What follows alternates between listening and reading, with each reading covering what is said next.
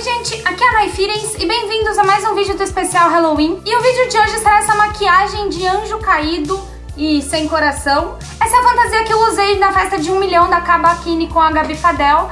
E eu tô sem a lente porque eu estou indo pra festa e vou deixar pra colocar depois. É isso, eu espero que vocês gostem e continuem assistindo.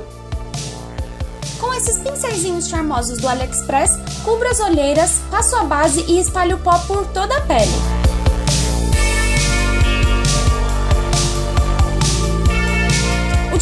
Pigmento preto, esboça um desenho no formato de asas. Depois, esfumo bem o traço na parte inferior. Após um leve espaço, faço um traço que vai até as têmporas. Pinto tudo de preto, inclusive abaixo dos olhos.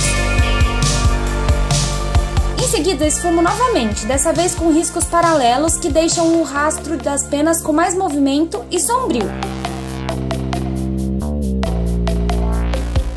Repita o passo a passo do outro lado. E boto mais uns risquinhos na testa só para combinar. O buraco do coração será com a boa e velha massa mágica. Assim, vou depositando pequenos pedaços até fecharem um círculo. Então, uso a inseparável espátula e um tanto de água para moldá-la. Cubro com uma boa camada de látex para a ferida aguentar a festa inteira.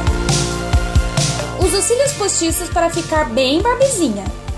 De volta ao coração arrancado, escureço de dentro para fora, com leves esfumadas nas laterais.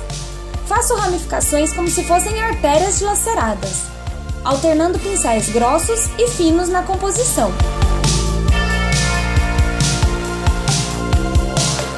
E termino com um tantinho de sangue falso só para a ferida ficar mais real.